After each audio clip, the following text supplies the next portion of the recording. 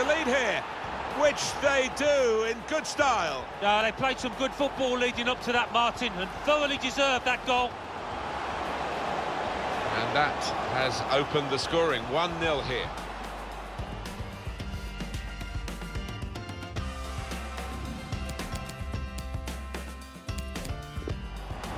With great vision here. In on the goalkeeper. Crosses long towards the back post. Brilliantly taken, and Hazard is the scorer. Well, he's one of the best players in the world now. He's built himself up to that standard, and he showed it there with the way he took that one away.